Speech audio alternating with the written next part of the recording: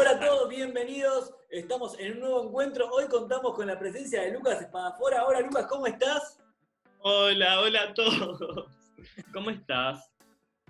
Todo tranquilo. Acá eh, en, la cuarentena. ¿Sabes que te, quería presentar? Pero es como difícil porque soy youtuber, influencer, actor, artista musical. O sea, tenés un montón de, aristas, pero hay un dicho que dice, bueno, eh, no hay mejor momento que el presente, ¿no? Así que vamos derecho al hueso y vamos hoy en día estás en el cantando, ¿sí? ¿Cómo te llegó? ¿Cómo llegaste al cantando? ¿Cómo te llegó esta propuesta?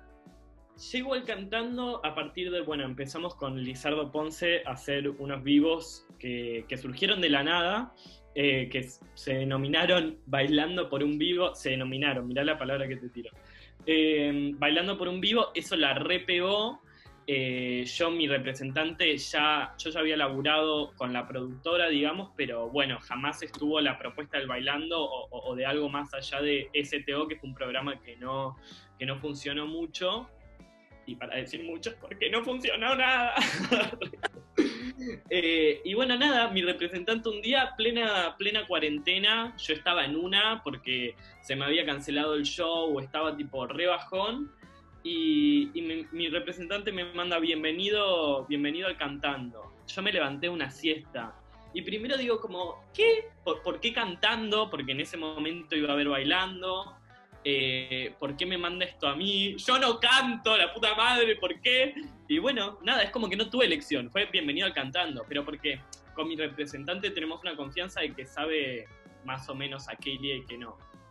Es decir, no es que te preguntaron querés o no. Mi representante me dijo, estás adentro. Y fue bueno, listo.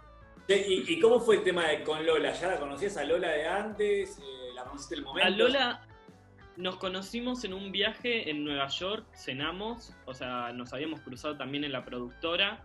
Eh, ay, sí, nunca, ¿no? Acá en Lanús, no. Eh, justo coincidimos en un viaje y cenábamos, nada, buena onda, pero no éramos amigos, simplemente nos unía esto de que teníamos la misma edad.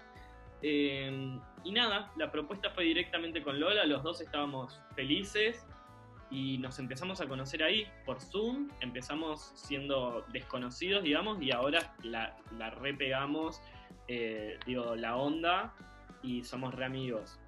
Así que si, no, si no ganamos, si no me llevo nada, me llevo una amiga ya, que eso ya está buenísimo. Se, nota mucho la, amistad que hay y la relación también que tenés con su mamá, con Janina la torre, que, también como que es muy fuerte, hay una buena, buena onda ahí.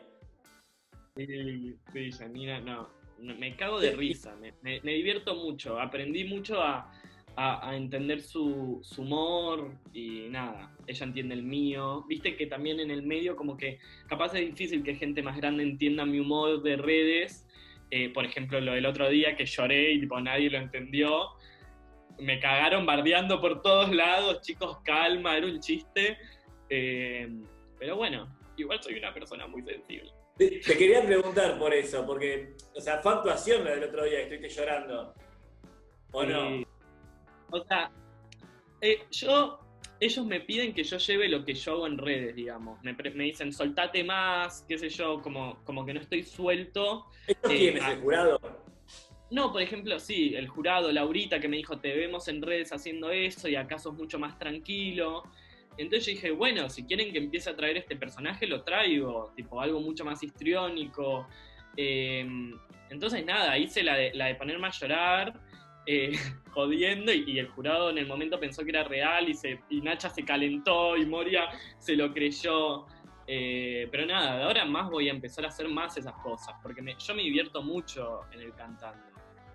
Y si, bien vos sos, influencer, ser influencer es medio reality porque estás todo el tiempo mostrando un poco tu vida. ¿Cómo te sentís ahora en un reality en la televisión? No, es totalmente distinto. Es totalmente distinto porque eh, el ser influencer es como que vos decidís qué mostrar y qué no. Y yo ya después de cuatro años de venir haciendo esto, que digo, aprendés a separar qué cosas querés mostrar, qué cosas no, qué cosas las dejas para tu privacidad y tu intimidad y qué cosas las compartís, digamos. Y en la tele no se maneja así, es como que vos pasás a ser un producto de la productora y digo, estás en el reality y sos parte del reality, entonces sabés que te expones a que hablen de tu vida de la manera que ellos quieran. Por ejemplo, esto, ¿entendés? Del llorar, que en mis redes la gente se hubiese cagado de risa y listo, y en la tele fue a intrusos, eh, lo, subieron a todos los portales, o sea, se armó un quilombo tremendo por un chiste de 25 segundos. Vos ese día llegaste a tu casa y empezaste a ver los portales y, las redes, todo el video de Me cagaba de risa porque decía, Lucas Espadafora rompió el llanto tras la devolución de Nacha Guevara. Y yo tipo, no entendieron nada, chicos. O sea, yo realmente es como que me, me pongo en la cabeza de ir a disfrutar el reality porque es mucha la intensidad que se vive ahí. En serio, tanto en tu vida personal, de ponerle que la gente empieza a hablar con tu familia y todo el mundo te empieza a hablar. Es como que cada gala es un cumpleaños y todo se pone muy intenso también con la exposición y los portales que hablan y la gente que hablan. Entonces realmente como que me puse en la cabeza, che, disfrútalo vos, eh, lo que pasa ahí queda ahí y no, no voy a ir a armar bardo ni nada, ¿entendés? Pero eh, tengo muy, muy, muy en claro en la cabeza que voy a divertirme para mí y para la gente que entienda mi humor también. Obviamente hay mucha gente, eso pasa en la televisión, que mucha gente eh, no entiende por ahí tu humor. En las redes eligen verte y en la tele es como se, se, mezclan los públicos. Si bien en, las redes explotaste ya hace cuatro años que te conocen, que te, te van viendo, ahora estar en el cantando como que te potenció. ¿Sentí que te hizo más famoso eso? Sí, obviamente tiene, tiene una exposición mucho más intensa, capaz más en, el mundo, digamos, yo en redes ya era reconocido, la gente que consumía redes sociales, que consume, eh, ya tengo como un lugar hecho ahí. Em, pero es distinto para la gente que consume el medio tradicional, por eso digo, e, es una exposición mucho más intensa en cuanto a ponerle a mi familia, mi familia más grande, como que todos los amigos le empiezan a hablar, Además no es que tengo un, apellido que es Gómez, ¿entendés? Eh, o Fernández. No sé. Tengo un apellido de mierda, re complicado, espadafora. Entonces no, no hay muchos. Todos hacen conexiones y es como el grupo estallado, los mensajes estallados. Pero bueno, e, es, lindo. Eh, ¿Qué sé yo? Recién cuando arrancábamos me contabas de, de, cómo te llegó la noticia, de tu representante, de que vos no cantás, pero Vos en el 2018 sacaste tu primer tema, sacaste libre y. ¿Cómo que no claro, Contame. Pero yo lo saqué sin ser cantante. Yo siempre me, dediqué a redes sociales, siempre también estudié actuación, eh, baile, eh, pero el canto jamás fue algo que me tomé como, che, puedo cantar, ¿entendés? Siempre dije, tengo una voz de mierda, qué sé yo. Em, pero bueno, me había pasado de que me separé de, de una pareja y, no podía encontrar la forma de hacer como la catarsis por mis videos, entonces lo hice a través de una canción. Pues yo no soy cantante, digamos. Ahora, hoy en día, empiezo a tener un poco más de técnica. Cuando saqué libre, realmente era yo gritando en el micrófono a partir de que la canción la pegó y a la gente le gustó, empecé a estudiar, eh, empecé a hacer canto dos veces por semana y hoy en día tengo capaz un poco más para protegerme en técnica. En Macumba se nota un toque la diferencia y no sé si tienen mucho tiempo de, separados, de haberlos hecho los dos. ¿Cuánto tiempo estás? Más o menos. Seis meses. Pero igual. Sí, pero yo empecé con, shows en el medio en los que cantaban, en los que cantaban las canciones. Eh, entonces me tuve que exponer muchas veces a, a cantar y yo no cantaba ni adelante de mi familia, o sea, pero fuera de joda no cantaba delante de mi vieja porque me daba vergüenza. Eh, y bueno, tuve que empezar a vivir estas situaciones como cerraba, ponele, tenía un show y lo tenía que hacer. Alguien tenía que salir a cantarlo y hacerse cargo de que había sacado las canciones. Claro. Eh, entonces, bueno, nada, empecé al principio como el orto, re sufría al momento de cantar y después me di cuenta que, me encanta, más allá de que lo haga bien o mal. Eh, nada, me encanta, lo disfruto mucho y tengo un montón por, por, delante por aprender. Bueno, en, tu última canción, que soy, soy quien soy, o sea, hablas un toque de eso, que no, puede no gustarte lo que yo hago, pero no, lo haces para que, para que le guste al otro, lo haces porque a vos te nace. Es total. un poco eso tu filosofía. Total, total. Es que a mí la cabeza me cambió mucho, o sea, desde que empecé en redes hasta hoy en día, porque empecé muy de pendejo, empecé a los 15 eh, ya me estaba exponiendo. Entonces digo, como que viví mucha madurez mental a, lo largo de mi, poca trayectoria. Eh, tipo, pasé todas las cosas que pasan los adolescentes con la exposición. Y, bueno, esto me hizo darme cuenta de esto, de defender quién sos. Yo fui, ponele gay en el armario hasta los 18, que, a ver, hoy en día, eh, digo, es re poco salir del armario a los 18 al lado de otra gente, eh, pero igual era otra persona. Entonces tuve que armar como este nuevo pensamiento eh, y, este nuevo estilo de vida que yo estaba teniendo y, salir a defenderlo. Esto de soy quien soy, de no me importa si te gusta o no, voy a hacer la mía, separarme un poco de la percepción que la gente tiene de vos eh, y trabajar más la percepción que yo tengo de, de, mí mismo y, y, poder laburar eso y en sentirme mejor con eso. Pero al principio me, ponele, me, me, afectaba mucho lo que me decían los de afuera, o sea, he, llegado a tener ataques de pánico, o sea, de, Pero eso no te impedía exponerte tampoco, digamos, porque arrancaste muy chico en la red, siempre exponiéndote un montón. En, YouTube, por ejemplo, desde, no sé, ¿cuándo fue tu primer video que subiste a YouTube, por ejemplo? Y en 2015, sí, al principio igual no los veía mucha gente, pero digo, después tuve etapas de exposición muy fuertes, em, digo, no, no en la tele, pero tuve distintos booms en redes, eh, y ahí sí capaz me agarraba, o, distintas cosas que pasaron, por ejemplo, la, época de las cancelaciones, que no podías decir nada, eh, capaz épocas de mucho hate, o, o que te mandas una cagada, Em, y eso me afectaba mucho en mi vida personal, realmente. Estaba con problemas de ansiedad eh, y tuve que laburar el, separarme de esta opinión que la gente tenía de mí porque, porque me hacía mal. O sea, a, lo largo de todo tiempo vos fuiste cambiando un montón de, plataformas, se puede decir, porque estuviste en YouTube, te fuiste a Instagram, por Twitter. Eh, eh, ahora me, estoy, me voy a concentrar un poco en YouTube que el primer, el primer video que tenés en, tu canal actualmente es de hace cuatro años y es La verdad de Marina. o sea, ese no es tu primer video, claramente. No, no, no, no. Querido, los primeros videos están todos mega ocultos. No lo ve nadie, solo yo. Eh, pero igual, a ver, ahí lo ves. ¿Qué, diferencia sentís que hay entre ese, ese voz de ese primer video que por ahí todavía no había salido del closet o como quieras llamarlo, al de, al de hoy en día, cuando te ves, porque tenés todo registrado, tenés toda tu vida registrada vos básicamente. ¿Qué, qué, ¿Cómo sentís que, que, fuiste mutando? Y bueno, yo me veí, digo, era un nene, o sea, muy, muy niño, realmente yo ahí no tenía idea de lo que me iba a venir por delante, porque no era conocido cuando subía esos videos. Tenían 200 reproducciones en su momento. Eh, entonces nada, como que me veo con esa ternura y como diciendo, ay, la vida te va a pasar por encima.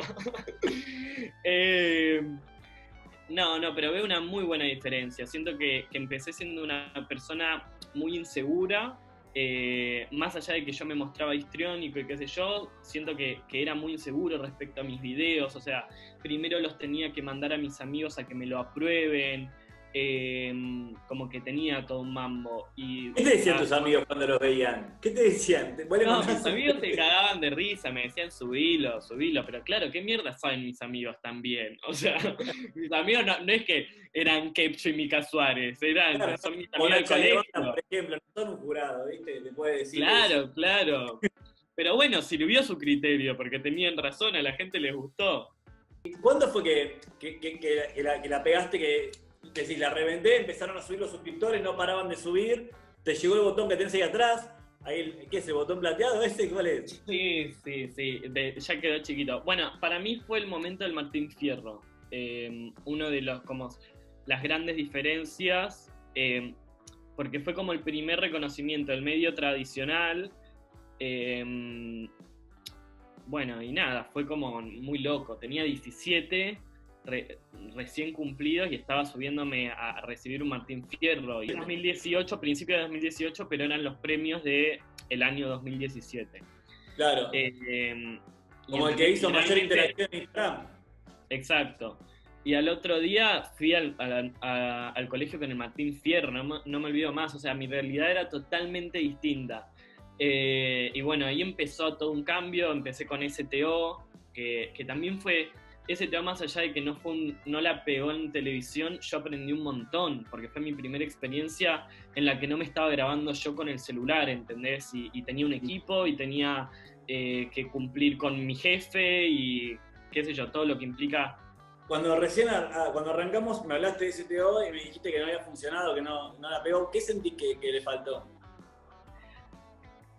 Yo creo que no, o sea, no sé si fue, fue el programa, fuimos nosotros, que éramos todos eh, niños que nunca habían hecho un programa de televisión, no tuvimos un ensayo, eran tres horas de aire, eh, era muy largo, digo, le faltaba como contenido, contenido, no sé, no, no, lo supimos, no lo supimos manejar, pero como te digo, yo aprendí mucho en ese tema, porque también fue una época en la que yo no la pasé muy bien porque eh, como que fue mi primera frustración de que algo no, no funcionaba, ¿entendés? Venía de pegarla en redes, qué sé yo, y de repente eh, para mí algo que era mega, que era tele, qué sé yo, no estaba funcionando como funcionaba, como quería que funcione, y, y nada, me empezó a pasar esto de que cuando lo pasaron a la noche yo no quería hablar, ponele, de, de, chimentos. O sea, me re divierte el mundo de la televisión y los chimentos y el quilombo, y me encanta meterme en eso,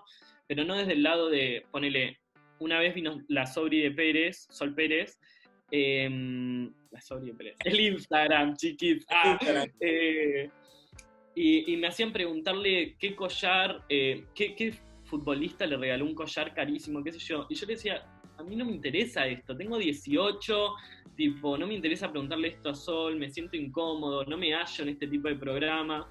Entonces fue como lidiar con eso, con algo que yo no quería hacer eh, y tuve que hacer. Pero bueno, eh, vos venías de redes y ahí haces lo que vos querés, cuando vos querés. Claro, claro.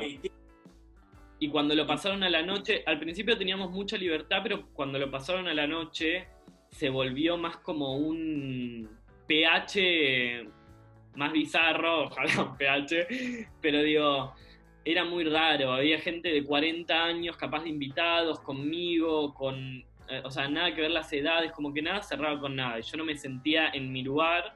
Y también me pasaba que venía de hacer unas cosas en redes que sentía que se me destruía por eso, ¿entendés? Porque mostraba algo que no quería, porque yo no le quería preguntar a Sol del collar. ¿Qué le querías eh, preguntar a por ejemplo? No, no sé, yo me cagaría de risa, cosas eh, mucho más no sé, que le pueda interesar a la gente de, su vida personal y no tanto de, un chongo, un collar. No sé, me, me, pareció una boludez como ir a eso. Siento que te podés divertir con un montón de cosas. Claro, sí, totalmente. totalmente. Hablando de la vida personal que debe tener cosas recopadas para contar, hablar de eso. No, sí, se entiende. Bueno, ¿sabes, ¿sabes lo que me llama mucho la atención? Que bueno, vos ganaste un Martín Fierro, como que generó mayor interacción pero hoy entré antes de la nota a tu Instagram y no tenés una historia subida. ¿Cómo puede ser?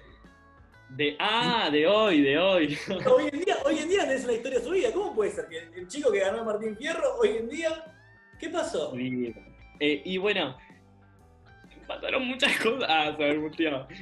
De vuelta, me van a, me van a ir a bardear a Twitter.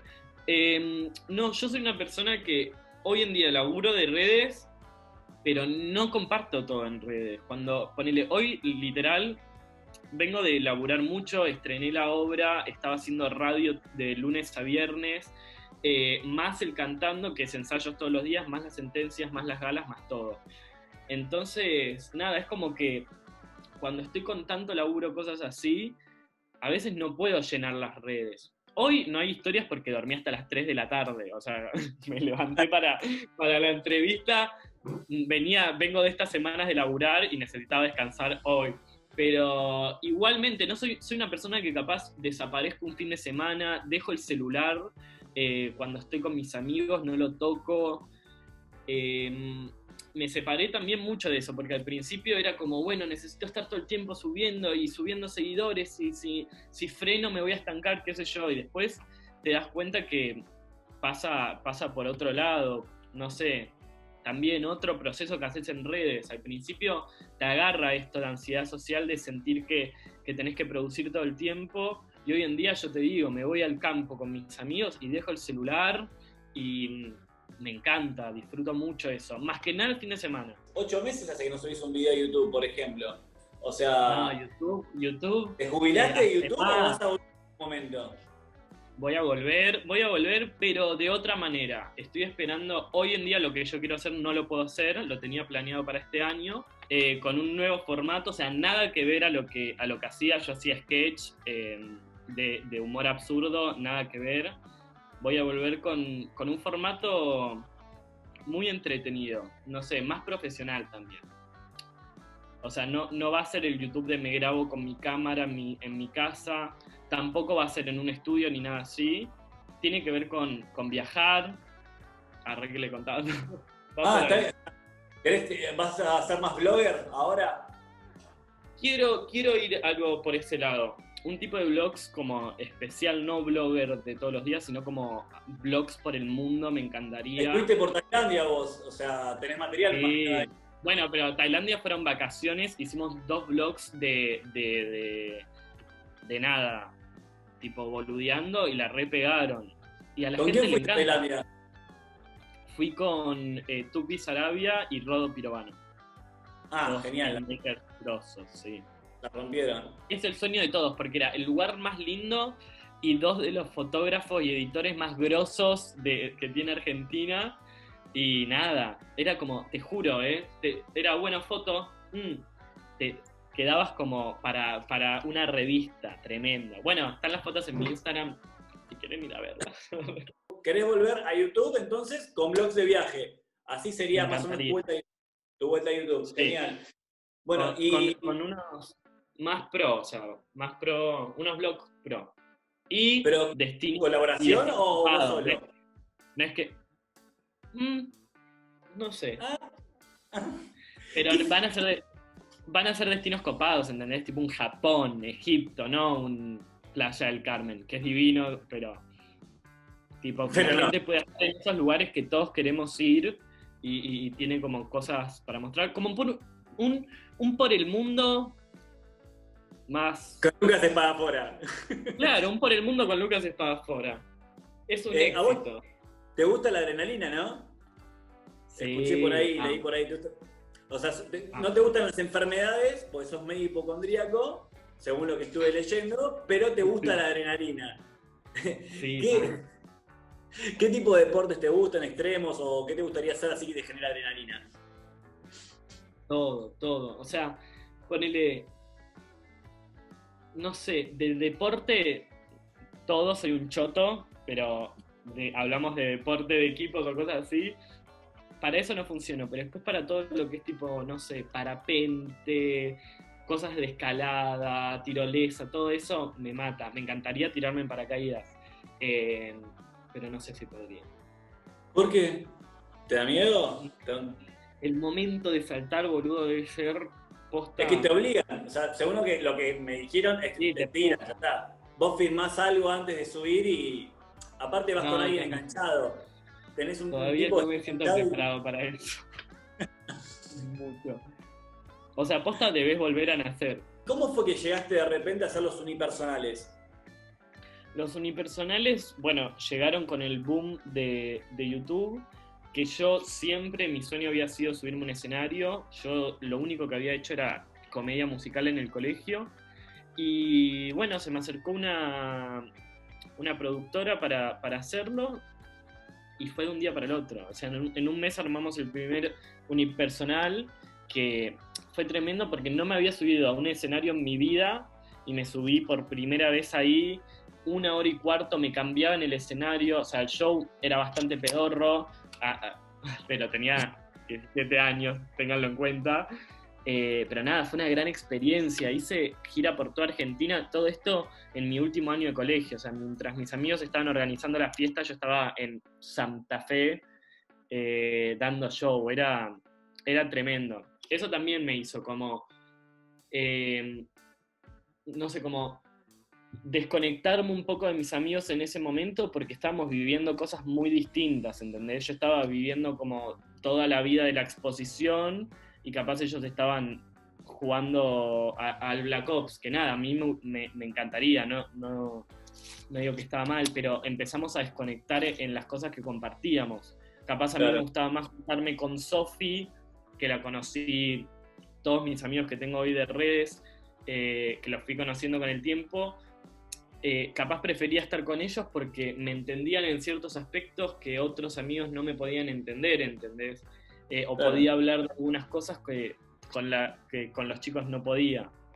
¿Y cómo, cómo te lanzaste a editar? Porque editas, manejás Photoshop seguramente, todo de tutoriales de YouTube, esto.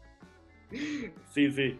Em, todo por YouTube. Aprendí todo, todo, todo, todo, todo solo. O sea, empecé editando como, un, no sé, era una mierda, fui mejorando, pero también eso tenía mis videos de copado, que la edición también era bizarra y a la gente le gustaba eso, porque después capaz yo le pagaba a un editor para que me edite y no funcionaba el video. A la gente le gustaba eso caserito que tenía. Claro, genial. Bueno, ¿y, qué le puedo recomendar a alguien que nos está viendo ahora y de repente un chico, un, jovencito de unos 15, 14 años que dice, yo quiero ser youtuber, yo quiero ser influencer? ¿Qué, le dice Lucas Espadafora? No lo hagas. no, no. Mucha constancia y lo que digo siempre, más allá de, lo técnico, que sería la constancia, porque los algoritmos siempre te, benefician cuanto vos más le des a la aplicación.